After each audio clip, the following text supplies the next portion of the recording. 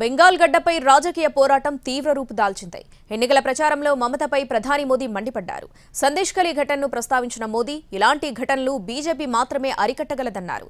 అయితే మోదీని విషపు నాగుతో పోల్చిన మమత ఎన్నడూ నమ్మలేమంటూ కౌంటర్ ఇచ్చారు.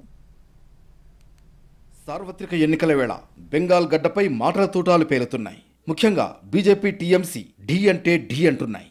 పశ్చిమ బెంగాల్లో గల కూచ్ బెహార్లో మోడీ ప్రచారం నిర్వహించారు. మమతా బెనర్జీ ప్రభుత్వంపై తీవ్ర విమర్శలు చేశారు సందేశ్ ఖాళీ ఘటనను ప్రస్తావించిన మోడీ నిందితుడిని కాపాడేందుకు దీదీ ప్రభుత్వం విశ్వ ప్రయత్నం చేసిందని విరుచుకుపడ్డారు బెంగాల్లో మహిళలపై జరిగే దారుణాలు భారతీయ జనతా పార్టీ మాత్రమే నిలువరించగలదని స్పష్టం చేశారు తప్పు చేసిన వారిని జైలుకు తరలిస్తామని తేల్చి చెప్పారు बंगाल के विकास के लिए यहां बीजेपी का मजबूत होना बहुत जरूरी है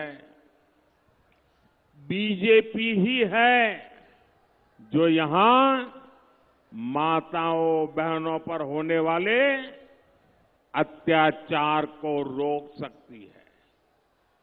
पूरे बंगाल ने, पूरे देश ने देखा है कि कैसे टीएमसी सरकार ने संदेश खाली के गुनहगारों को बचाने के लिए पूरी ताकत लगा दी ప్రధాని మోడీ విమర్శలకు బెంగాల్ సీఎం మమత గట్టిగానే కౌంటర్ ఇచ్చారు బీజేపీ ఎన్నికల నిబంధనలను పాటించడం లేదని మమతా బెనర్జీ మండిపడ్డారు కేంద్ర దర్యాప్తు సంస్థలు బీఎస్ఎఫ్ సిఐఎస్ఎఫ్ ను బీజేపీ పావుగా వాడుకుంటోందని ఆరోపించారు ఈ అంశంపై ఎన్నికల సంఘం చర్యలు తీసుకోవాలని కోరారు విషపూరితమైన పామును నమ్మొచ్చు ఆ పామును పెంచొచ్చు కానీ బీజేపీని మాత్రం ఎట్టి పరిస్థితుల్లో విశ్వసించే పరిస్థితి లేదని స్పష్టం చేశారు దేశాన్ని బీజేపీ నాశనం చేస్తోందని దీదీ దుమ్మెత్తిపోశారు కూచ్ బీహార్లో స్థానికులను బీఎస్ఎఫ్ సిబ్బంది ఇబ్బంది పెడితే పోలీసులకు ఫిర్యాదు చేయాలని మమత సూచించారు এজেন্সি কেন রেড করাচ্ছ তোমার বিজেপি নেতারা এনআইএ এর সাথে ঘুরে বেড়াচ্ছে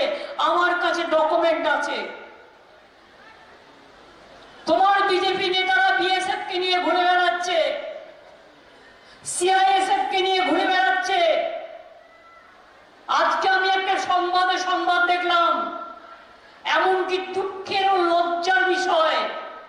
సార్వత్రిక ఎన్నికల్లో అధిక ఎంపీ సీట్లు సాధించి టీఎంసీకి షాక్ ఇవ్వాలని మోడీ షా ప్రయత్నిస్తుండగా గట్టిగానే కౌంటర్ టాక్టిక్స్ రెడీ చేశారు మమత.